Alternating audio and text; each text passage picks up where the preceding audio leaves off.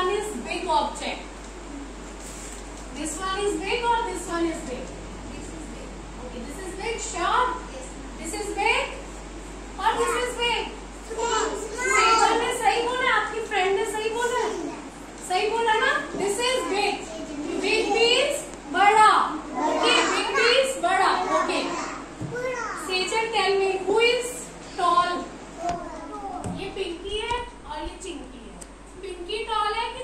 olha,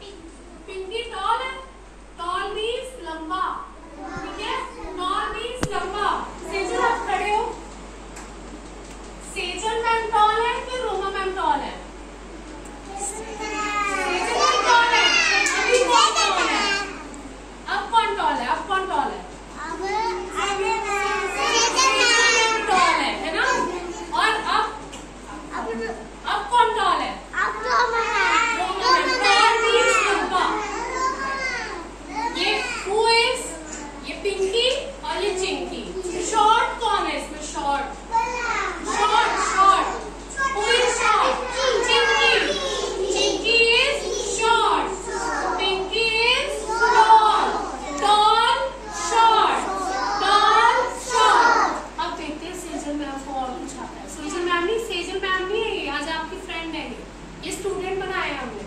तभी तो ma'am की चुप होनी सुनाई हमने, है ना? सीज़न मैम स्टूडेंट बने। कल आपको ऐसे ही आंसर देने हैं जैसे मैम दे रहे हैं ओके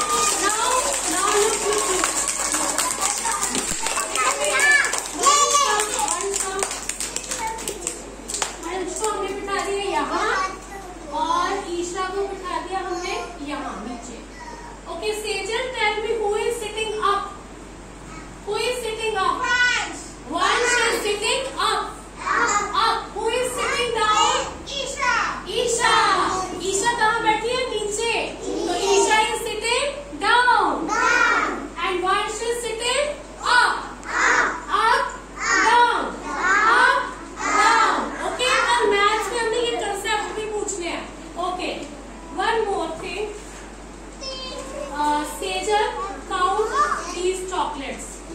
इन चॉकलेट्स को काउंट करो। वन